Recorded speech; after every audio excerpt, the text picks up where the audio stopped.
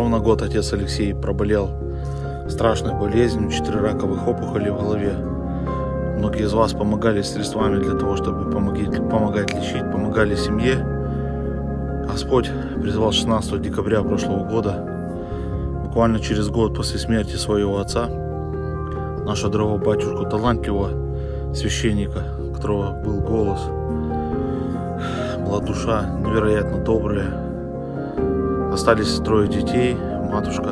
Осталась куча друзей, которые за него молятся, которые очень любят и, и помнят отца Алексея.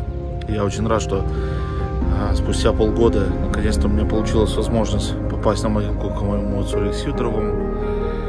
На душе очень много разных переживаний, но рана не успевает заживаться. Прошу молить за покой преснопоминаться Алексея, нашего собрата, чтобы Господь утешил его душу, поддержал его ближних и даровал Царство Небесное другому отцу Алексею.